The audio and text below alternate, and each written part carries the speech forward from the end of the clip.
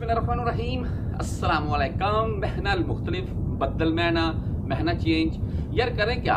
देखें, मैं आपके साथ वीडियो लेके आता हूँ। कुछ भाई मुझे पता है नीचे कमेंट करते हैं यार कि भाई तुझको पता है नहीं, तू झूठ बोल रहा है। यार, मैं साथ में दिखा भी देता हूँ आपको, बंदों के, भाइयों को जो मैसेज आते हैं, वो आपको सुना भी देता हूँ।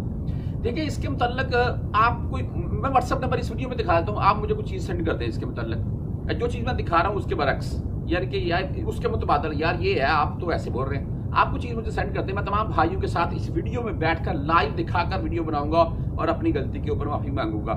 मैं हकीकत बात सच बोल रहा हूँ। और अगर बात करें हम हुकूमती मामला को लेकर जैसा कि सऊदी गवर्नमेंट के मामला को लेकर तो भाई कहीं भी किसी भी पेज के ऊपर वाजह नहीं किया जा रहा है कि अभी तक पाकिस्तान के लिए सऊदी अरेबिया जो वीज़े जारी किए जा रहा है, अभी भी किए जा रहा है वो स्टैंप क्यों नहीं करवा रहा है? यानी कि सऊदी एम्बेसी पाकिस्तान में स्टैंप क्यों कर रही है? वो वाजिया पैगाम हो ना जो कन्फर्म न्यूज़ हो, ऐसा कोई बयान सामने आया नहीं। सवाए एक चीज़ के, वो क्या, जो दस नए महीने मुतारफ करवा दिए गए थे, आपको साथ में दिखा रहा हूँ मैं। यानी कि महीनों में थोड़ी बहुत बदल करके और मजीद घरेलू तौर पर महीने बढ़ा दिए गए थे, बस।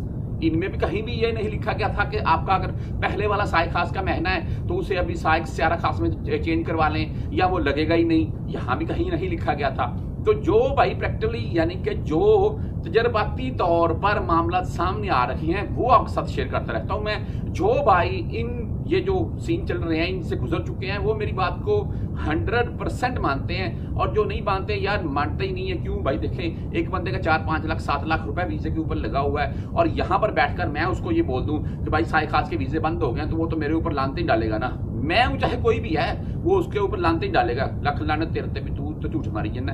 इस तरह तो है ही नहीं। ये चीज़ होती है भाई। तो बात करने का मकसद सिर्फ़ ये है कि लाखों रुपए बंदों के लगे होते हैं। यार जमा पूंजी लगी होती है। एक बंदे ने को मैंने आपको पहले भी एक दफ़ा वीडियो में बताया था कि वो बोल रहा था कि मैंने तो भाई अपनी घर की जगह सेल करके वीज़ा लिया है। और, अभी वीज़ा स्टैंप नहीं हो रहा। तो जब बंदे की ये सिचुएशन होगी तो भाई बंदा तो आगे वाले बंदे का गल ही पड़ेगा ना। तो बहरहाल जी, बात यह है, मुद्दे की तरफ़ आते हैं। मैं आपको एक चीज़ दिखा रहा हूँ जिसमें ये भाई ने मुझे सेंड किया, महना महना मुख्तलिफ़ बोल रहे हैं। महना, इसमें महना मुख्तलिफ़ हम इससे पढ़ सकते हैं और कुछ भी नहीं पढ़ सकते। और नीचे डेट वगैरह भी बकायदा लिखी हुई है। सत्रह दो तेईस को ये भेजा गया और चौदह तीन दो हज़ार तेईस को ये वापस आया।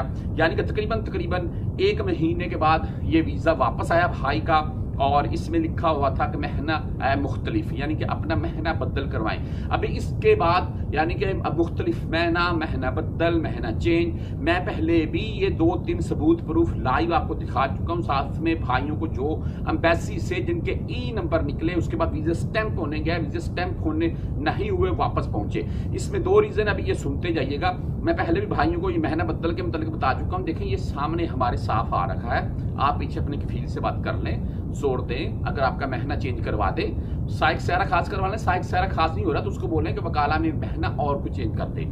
अगर, देखें, कोशिश करें। पहली तो बात यह है इन ताला हो जाएगा, मसला यहीं क्लियर अगर खुदा ना खुआस्ता मसला यहाँ क्लियर होता हुआ, ना दिखाई दिया तो भाई फिर पीछे से वकाला यानी कि कैंसिल करवाना पड़ेगा, यानी कि वीज़ा कैंसिल करवाना पड़ेगा। आपने जो सऊदी को पाँच सौ, एक हज़ार, दो हज़ार रियाल दिए होंगे, सारे पैसे तो नहीं हम देते हैं। ज़ाहिर सी बात है वीज़ा जब बंदा हमारा सऊदी पहुँच जाएगा बाकी पैसे उस टाइम दे देंगे, जब तुमसे ही काम लेंगे।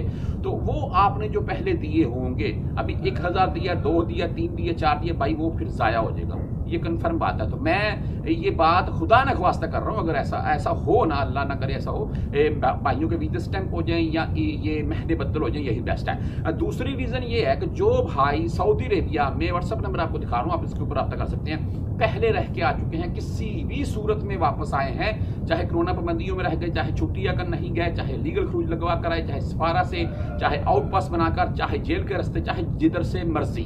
तो भाई उनके भी वीजे वापस हो रखे हैं। उसकी रीजन क्या है, अपने सफरी मामला पहले चेक करवाएँ। यानी कि अपना मतार मरहल पेपर पहले चेक करवा लें, वो भाई। उससे ये पता चलेगा कि भाई आपके ऊपर कोई किसी किस्म की सफरी पाबंदी तो नहीं है। ये सेकंड रीजन आती है। तो आप इस चीज़ को भी फॉलो करें, लेकिन ये उनके लिए जो सऊदी में पहले रह चुके हैं। इसके मतलब मजीद आपने कुछ पूछना हो व्हाट्सएप नंबर मैं आपको दिखा चुका हूँ, आप मुझसे रब्ता कर सकते